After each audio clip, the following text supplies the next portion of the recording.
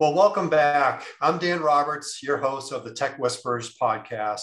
And today we're going to take you uh, inside the playbook of one of what I believe is one of the most intriguing tech whisperers in our industry. He's a passionate video gamer. He's also a DJ. He's all business, but he's also a brilliant technologist. And this guest loves taking on those big, gnarly problems. And we're going to talk about some of those today. And he does it with a level of energy that his people around him say is really infectious. So that can only be the one and only Gill Haus, the CIO for consumer and community banking at JP Morgan Chase. We all know, we all know the organization, 2021, $127 billion, just staggering. Fortune 19, nation's largest bank. I, I would say a technology powerhouse as well. And Gill's day job is pretty daunting, right? He's got 12,000 technologists in his organization annual budget of $4 billion. And I would say, Gill, no one, not even yourself, could have written the script for this career journey that you are writing. Going back to digital native companies, you were at PayPal and AOL back when they were just cool and, and brilliant and doing, doing amazing things. Capital One. So, Gill, truly, welcome to the show. I am excited to be here. Thank you. And that was quite the introduction. Well, you know, I'm, I'm actually understating it, but uh, we'll we'll get into some of the uh, some of the fun stuff here as we go through. And you know, I'm generally excited about unpacking your playbook. Uh, but first, I've got to share something. I got to get off my chest, Gill. In the full full disclosure, okay? So, you know, I had a number of what I consider industry influencers coming to me and saying, "You got to get Gill on the show. He's just dynamite." And my response to them, and here's my confession, I said, "Come on, it's banking. How interesting can this be, really?" And then you and I had a call, if you, I don't know if you remember it. And I think my opening question to you was kind of snarky. It was like, Gill, so what's interesting about banking technology right now? So let's start, start from there. You pick it up from there. Tell us a little about yourself and why this is really an exciting place to be right now. Absolutely. And I have a confession to make as well. When I was first approached to enter the banking industry, I had a similar reaction. I said, I'm a technologist. Why would I go and, and join a bank? But that's what's so incredible about what we actually are doing. So at the core of what Chase does is technology. So we spend $12 billion of, uh, on technology every single year so that we are able to deliver incredible experiences for our customers. And we have 60 million active digital customers, the 44 million of them being on, on mobile. And so in order to make that experience work, you have to have technology. Now, it's not just technology that you have to have. You have to have incredible technologists that are part of that experience too. And the tooling, the way that you're solving the problems needs to be exciting. Otherwise, why would great engineers want to be part of it? And that is what we are doing. Because in order for us to not only compete today, but to compete in the future, we need to rethink everything from how we build our software to how we manage that software when it's in production. We have to think differently about how we're organized. And the technologies that we need are all the ones that you would imagine, the cutting edge technologies that are out there. And it's not that we use them because they're flashy words, things like the public cloud, et cetera. It's because we are using data in mass. There's a ton of processing we need to do. And the experience for our customers is has to be second to none. And what's even more exciting, I think, about banking too is what I didn't realize, and I think I did realize, but didn't realize until really being inside of the industry, everything in the world revolves around money. I know it's kind of like an obvious thing to say, but it does. And we're at the center of that. And so when we do things well in technology or even outside of it in technology, we make people's lives better every single day. And so that's really cool. And there's a lot of other cool companies out there doing great things in technology, but you can't go anywhere in the world and not see something that involves money or involves something that we're doing here with technology at Chase. Mm, that's powerful. I mean, I mean, just the story, the mission, you know, how you tie to that, Gill. And, you know, one of your recent writings, I've been reading a lot of your stuff lately, uh, which you, you're a great writer, by the way. I appreciate it. I, I, I suggest people follow your stuff, but you talked about the bespoke customer experience. Now, it's funny to me because bespoke is a word that we didn't really hear about until recently, and now it's it's become a thing. So tell me what that means in your world. Yeah, well, bespoke. So the, the definition of it, I'll probably get it a little bit inaccurate so we can validate that with an actual dictionary, but it's something that's built for a particular purpose or customer. And um, you hear that a lot because when you're solving problems in technology, you can solve problems for a particular use case, or you can solve problems for a broader set of use cases that we are trying to solve for our customers. Now, I'll bring that a little bit to like how we think about that here at Chase. So personalization is a great example of this. I want to create an incredible personalized experience for you or for any of our other customers. If I use data in one experience and I have some smarts there, and I don't make it available to somewhere, someone else in the experience. So example would be you go onto our mobile app and I give you an, an offer or I create some tailored experience, but I do it differently when you go into a branch, feels disjointed, doesn't feel like it's one company. And it can be confusing and frustrating for a customer. And so wow. why you hear us saying that a lot, right, is don't build bespoke solutions. Instead, build solutions that will work for an omni-channel for the entire firm um, as a platform.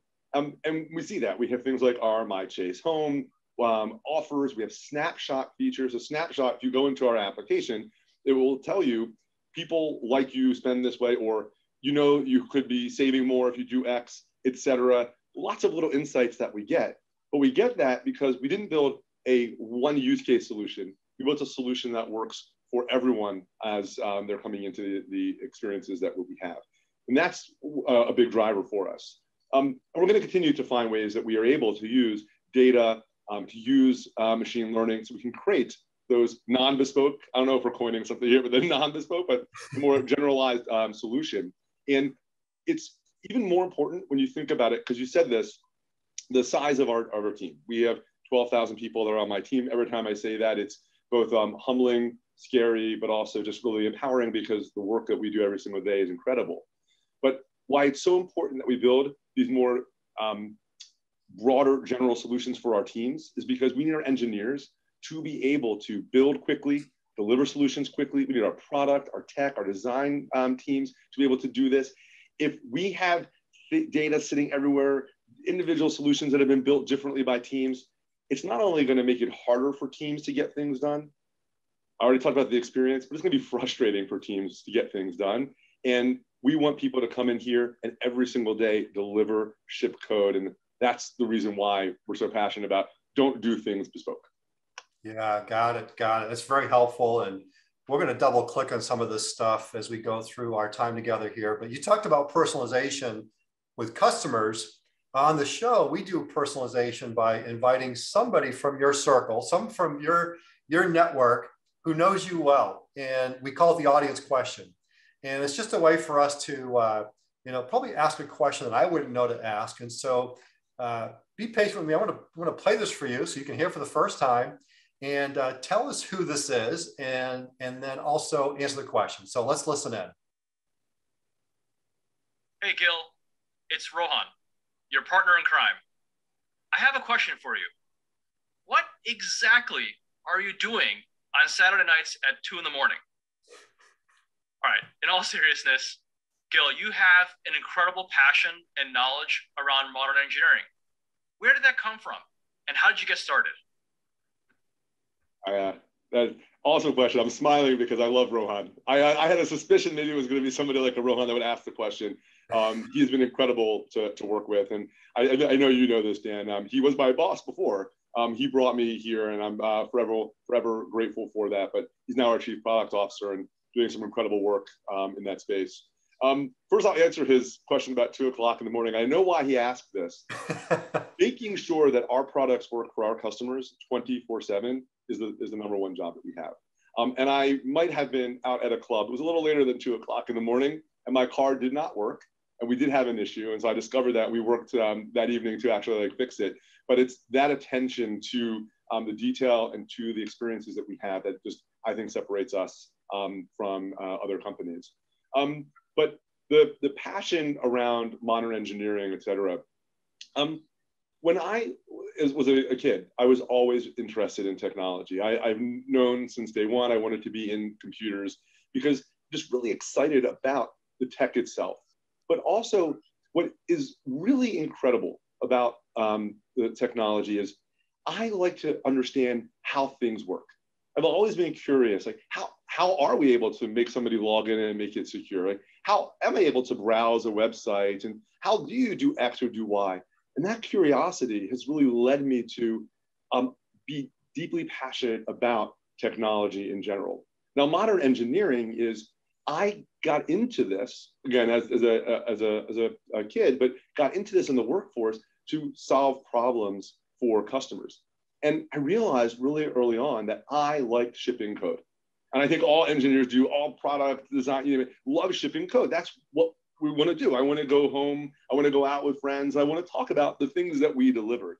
And the world has evolved, the industry has evolved over the, not even the past decade, the past two decades, where the limitations that we had because of process or technology, et cetera, have changed. We can now actually build in a different way, faster. We can make it easier for our teams. And that's the modern engineering practice. You'll hear people talk about continuous integration, continuous delivery, et cetera. These things make it easier for our teams to deliver code, so shipping code to customers. And so that's why it's been a passion for me. And the more that I get into the, the field and I, I dig up and I learn, I realize how much I don't know. And that ends up being a bit of an energy thing for me too, is like, how do I learn more and, and help solve this? And the last piece too is in working with people, particularly like from uh, all walks of life and engineers, I see it when they are in the office or even on Zoom and are getting things done. And I see it when they're frustrated. And you can see it in the body language. When they're when they're getting things done, people are sitting forward, they're in there, they're looking, moving back and forth on screens. When they're not, you see a little bit of this, they're moving. And I want them to have that first. Like be excited, like get this work done. Like people that are excited, that are energized, do better. They are more creative, etc. And so pushing to improve our experiences or our modern engineering practice, I should say, that leads to that outcome, which is why I'm so passionate about it. Yeah, no, I, I appreciate that. And you know, kind of kind of taking a look at that, you know, one of my things I like to do is study the isms of great leaders like you, the expressions, the gillisms that you use. And you've got one, and I'll, I'll let you say it, but it's around the shininess in the front. Too much focus on the shininess in the front. So what, what does that mean to you, Gill? Yeah, and this this is a little bit like the last question too. The shine when you have a mobile app, there are some incredibly gorgeous mobile apps or websites, et cetera, that we, we use. And, and that's wonderful, and they should be.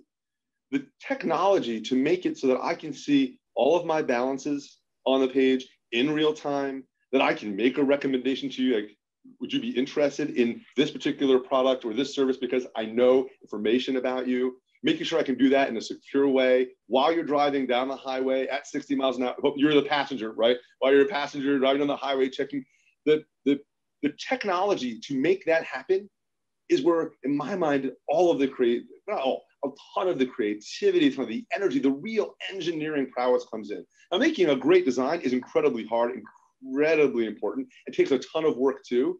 But often our designers will say, we need you to make changes on the back end to create this incredibly shiny, elegant experience. So I'm not saying we shouldn't be incredibly proud or invest heavily in our shiny experiences, but sometimes it's a little bit like the, um, um, um, the like I'm thinking like more of the, the Titanic iceberg, right? You have kind of an iceberg where you see the very top, but you don't see the bottom of it, which is all this other stuff that has to be there to make sure that little piece can float on the top. And that's how I think about the back end systems that we have. And that's why we have the 12,000 engineers that we do, because we're so focused on building all of the plumbing that allows us to run at the scale we need to so that we can provide that shiny experience. So really, I do think the shiny experiences matter, but it just doesn't stop there. There's so much else that's behind it. Gill, so many people in our audience will never have the opportunity nor the desire to work in kind of a tech startup uh, type type environment. But how have those early experiences helped you in terms of how you lead, how you think, how you show up, maybe even how you ask a different question today? Yeah, um, it's a wonderful question. When so I've been in some startups and I've also been in big companies, and I think being in those different environments has really tailored a bit of what is in, important to me. When you're in a larger company, you tend to have bigger budgets, um, and that gives you the freedom to do things a bit differently. It, however, because you're a bigger company, you don't always see the competitive landscape or you don't realize it's taking you longer than it should because you're in a bigger company. So you ask certain questions in, in, a larger company about, great, we have the funding for it. What's the opportune way to build this? You can be thinking more broadly about building a bigger solution. But then the contrast of that is being in a startup where you have very little funding. Even if you're a big startup, you will have less funding than a company like we are in here today. And that forces you to think about things a little differently because in a startup, you do care about the competition because typically you're disrupting something. So it matters every single day. And you don't have all of the, the luxury of resourcing. So you have to be crafty and creative. And then, of course, time isn't on your side every single day. So it forces you to think about things differently. So having both of those different experiences has really helped me when I'm asking the questions within an organization. Because in a big company here, there will be times when we are acting like a startup, where we are going after something two week sprints, knocking it out, and more and more, by the way, Dan, we are operating that way. But that requires us to ask questions such as, do we really need all the money that we're spending on this? Or could we do it differently? Could we be using something like open source? Or like, do we need in the MVP to have all of these bells and whistles, et cetera? But it also allows me to ask questions, having been in larger organizations, such as, yes, we're going to be launching this and we're doing it in two weeks, but we have 60 million digitally active customers. There's a little bit more thought we have to give into these sorts of, of deliveries. So that's the way that I've been kind of framing my questions and what has really led to how I think about it on a daily basis. But it's really those experiences. And frankly, not all of like the startups or other companies have been as successful. And I think there's a little bit of that too, where having I've done that. That didn't really work out the way that I thought it was going to work out. And so now if I see something like that, I kind of ask a question like, wait a second, have you thought about it a little differently? Because it might not go exactly the way that you thought it would go. Yeah. Gill, there's been obviously great decisions made prior to today that have set you up and your organization up to be so successful, right? In terms of some of the things, this bespoke uh, experience you deliver, the idea of having an omni-channel, um, as you think about the future, setting the bank up for the future, what does a modern software strategy need to do and look like today to set you up for success later? Yeah, um, it is how we. There's a, there's a few items to this. So I'll start with more the, the technical side, and it's how we build software. And I mentioned this before, but it's the software delivery lifecycle. And the reason why I push on the software delivery lifecycle and talk about how we build, how we deploy our code, how we support it, is in order to be able to do that quickly.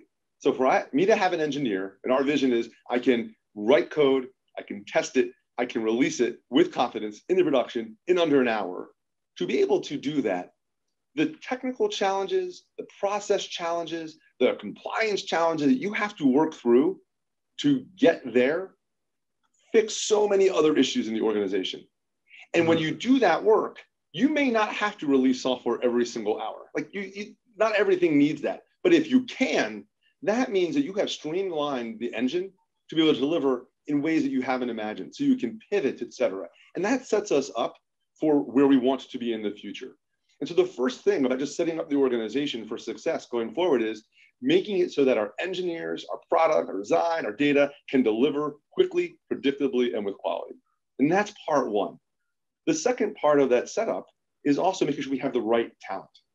And the right talent is interesting. When I say it, sometimes it can come off a little, the right talent do not have it. We have the right talent. We have thousands of the right talent, but we want them to stay here. So the 12,000 people we have, they need to know they have a, a great career. They need to have opportunity to have mobility in the organization. They want to work on new cool things or different things, like I just described. And so it's incredibly important that we provide that opportunity for the people that are here. Because if we're going to be this going concern going forward, we want the people that are here that are being trained, that are wonderful, to be here in five years, in 10 years, et cetera.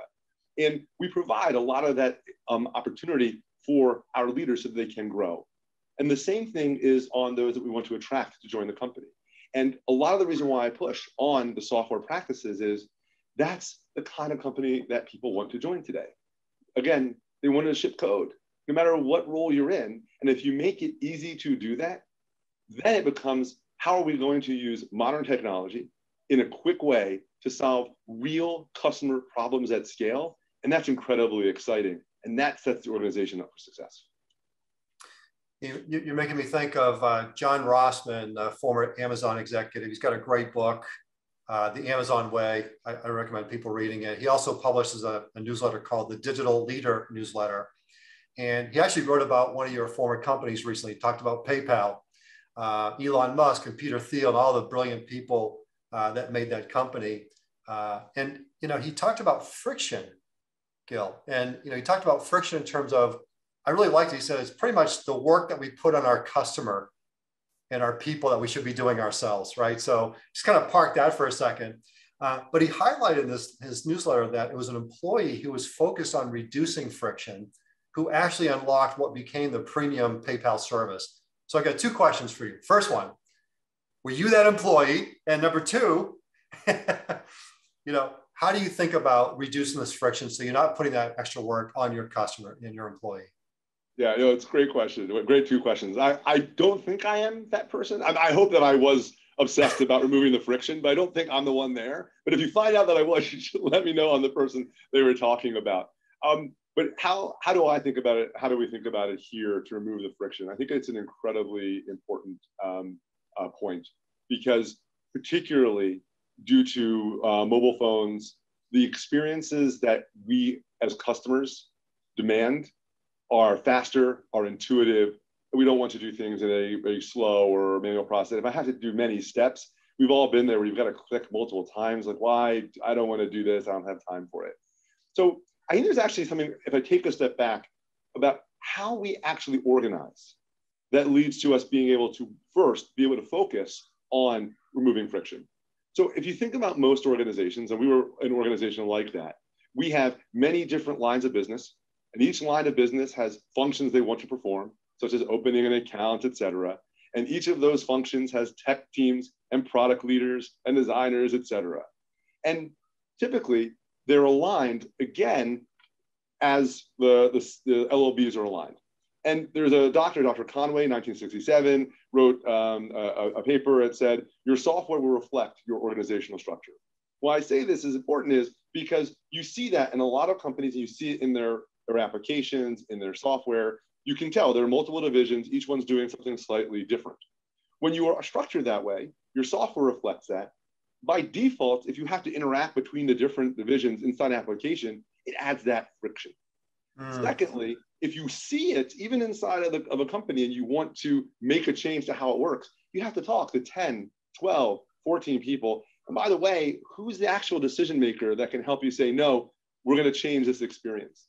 And so what we did, we did this about 18 months ago or so and are continuing to evolve, is we organized ourselves in an agile fashion.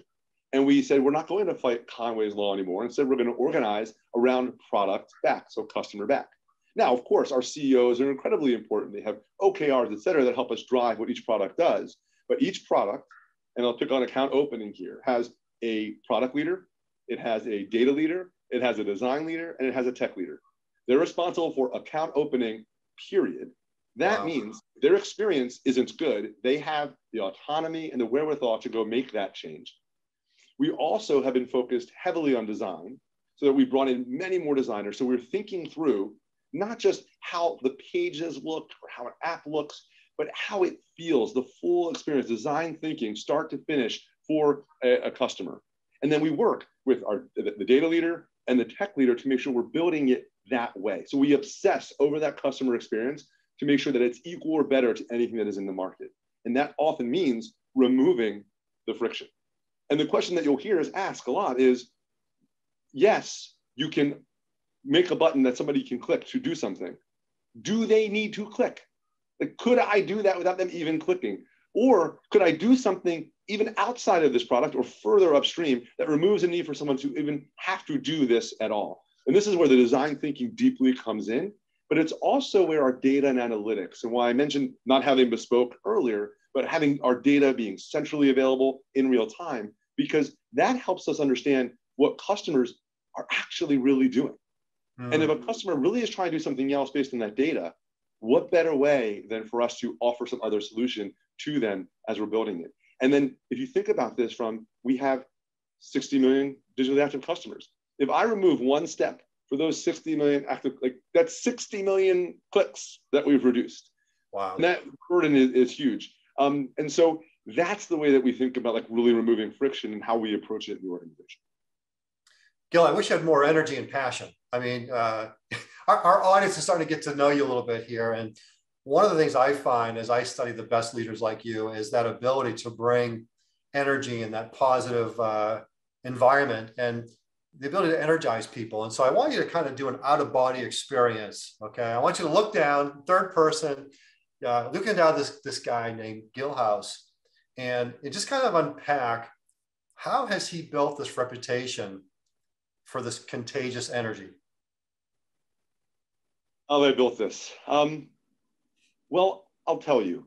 I am one, I have, as I mentioned, I've been into technology. So I love technology. But the thing that I think has really given me that energy is understanding our customers, what our customers are trying to do. And I, I see this energy also in others outside. I know that I'm a bit of an extrovert and I have a bit of that jovial personality. But I see it in our people too when you understand the, service that we're providing for customers. Because every single day, we are helping people use their finances, use their money, manage their finances, should say, to live their lives. And so every moment I'm thinking about if we did this better, there's somebody in there who is now able to buy that car they wanted or knows that they can go on a vacation or is now going to be better prepared should something happen to their job, et cetera, and savings. And the list goes on. And that purpose gives real energy. And there's real examples of this when you think about COVID and we had the Paycheck Protection Program. We had a week to launch something. And doing that in a week can be tiring. And we were working around the clock, as you can imagine. It can be tiring, it can be frustrating. But when you have that purpose and we know this is what we're doing it for, all of a sudden, even though we were tired, even though we, we people were they weren't shaving or sitting there on Saturdays as well, you could see the energy. And we all had that energy because it was really coming from the customer that we're serving. And I think that's what it comes down to is that we have an incredible set of products and services that we offer. We have an incredible customer base. And because of our size, we make a difference in people's lives. And that's incredibly, like, that's just a driving feeling for me.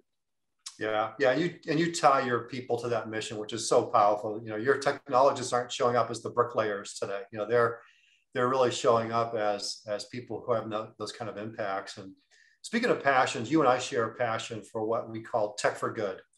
And you know, I'm excited to announce, Gill, our company is underwriting $125,000 in scholarships to the TechLX Leadership Development Program.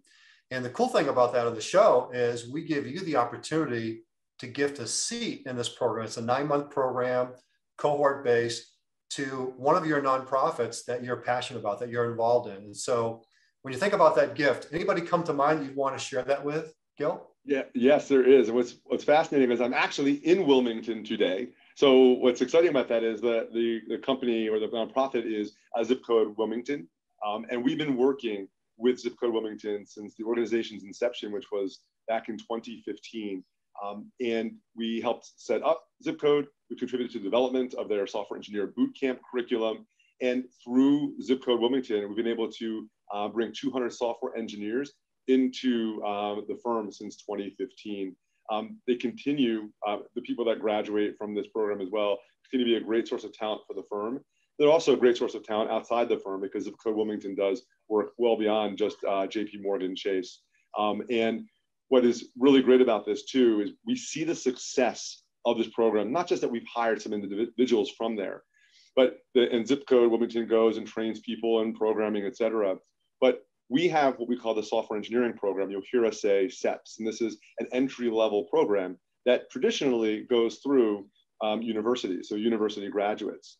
But we also have other ways that people can come through. We have an emerging talent program where we go very much like Zip Code Wilmington, and we do work to train individuals.